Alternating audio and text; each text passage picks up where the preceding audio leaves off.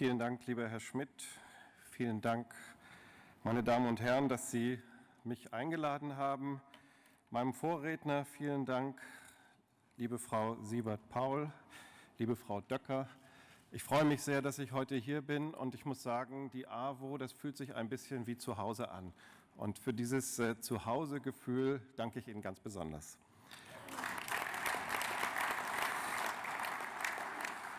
Es ist eine große Ehre für mich, Ihnen heute unser kleines Projekt SOS Mediterranee vorzustellen.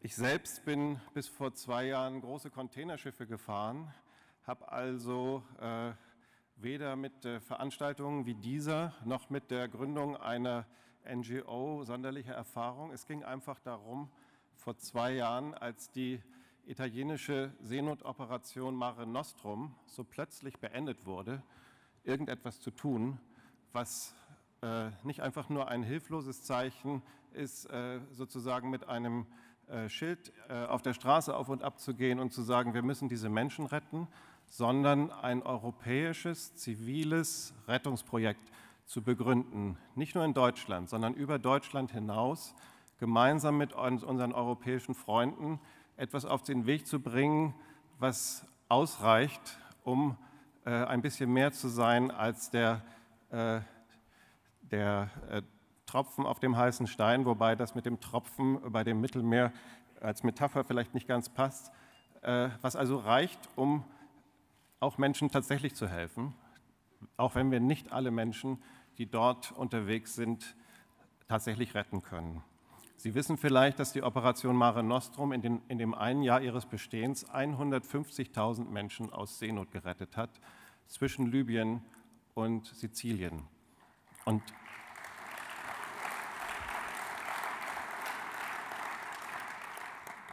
Und deswegen war es so erschütternd, als im November vor zwei Jahren die italienische Regierung beschloss, dieses äh, Seenotrettungsprojekt zu beenden und als die europäischen Regierungen und die europäischen Bürger nicht aufgeschrien haben und gesagt haben, das müssen wir jetzt weitermachen, sondern es war Stille im Lande. Es, ist äh, ein paar, es gab ein paar Erklärungen, aber es ist eigentlich nichts passiert. Das war der Grund, warum wir ähm, zuerst ich selbst mit meiner Frau, dann mit unseren Freunden und dann mit Freunden von Freunden uns zusammengetan haben über Deutschland hinaus in Frankreich und in Italien und SOS Mediterranee gegründet haben im letzten Mai und dann angefangen haben zu sammeln für ein großes Schiff, 77 Meter, um von Deutschland war es dann, weil wir es dort gefunden haben, aber dann vom Mittelmeer aus an die Küste von Libyen zu fahren, dort vor Ort zu sein und tatsächlich Menschen zu retten.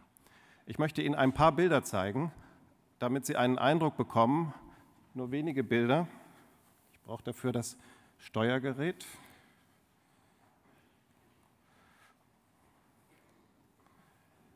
Der Gedanke, eine zivile europäische Organisation zur Rettung Schiffbrüchiger im Mittelmeer. Und das ist das Schiff, was wir im Dezember letzten Jahres chartern konnten und mit dem wir dann im Januar aus Satznitz losgefahren sind und mit dem wir seit Ende Februar im Mittelmeer Menschen retten. Die Aquarius, 77 Meter lang, ein ehemaliges Fischereischutzboot das viele Jahre lang im Nordatlantik im Einsatz gewesen ist, also ganzjährig auch bei schwerem Wetter äh, gut unterwegs ist und als Rettungsschiff hervorragend geeignet. Ich zeige Ihnen ein paar Bilder. Hier sehen Sie, hier sehen Sie ein Holzboot. Dieses Holzboot hat mehr als 400 Menschen an Bord. Das kann man sich nicht vorstellen, wie viele Menschen auch unter Deck in Deckshöhen von 60 Zentimetern dort eingepfercht sind und man weiß bis zum letzten Moment nicht, ob alle leben. Es sind Männer, Frauen, Kinder, Babys, die wir retten. Und alle diese Boote sind und alle diese Menschen in diesen Booten sind in höchster Lebensgefahr. Von dem Moment an, wo sie die libysche Küste verlassen und wir dürfen sie erst retten ab zwölf Meilen. Und zwölf Meilen, das sind 20 Kilometer, eine weite Strecke. Einige dieser Boote schaffen es nicht dorthin.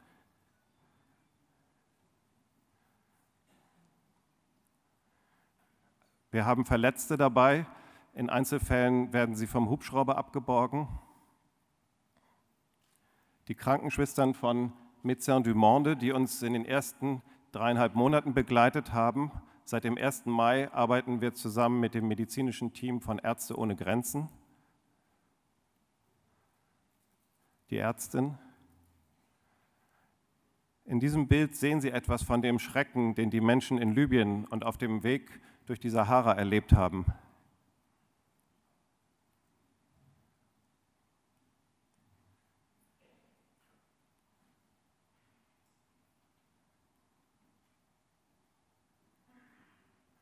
Bei der Ankunft vor Lampedusa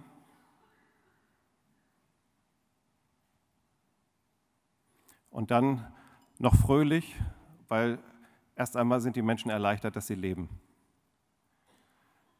Ich will Ihnen noch eine kleine Geschichte vorführen. Vor 14 Tagen sind meine Frau und ich nach Eisenhüttenstadt gefahren und haben dort ein Ehepaar besucht, deren kleiner Sohn Alex vor, ich glaube jetzt fünfeinhalb Monaten Ende Mai auf der Aquarius zur Welt gekommen ist. Das ist der Vater David, die Mutter Bernadette, der kleine Alex und hier noch einmal. Alex wurde am 23. Mai diesen Jahres auf der Aquarius geboren.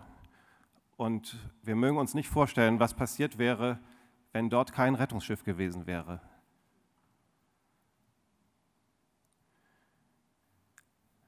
Ich glaube, ich könnte Ihnen noch viel mehr erzählen. Ich muss jetzt aufhören. Ich danke Ihnen einfach für Ihre Geduld und vor allem danke ich Ihnen für Ihre starke Unterstützung als Organisation und jeder Einzelne ganz persönlich. Bleiben Sie uns gewogen, unterstützen Sie SOS Mediterranee zusammen mit AWO International, unserem Partner.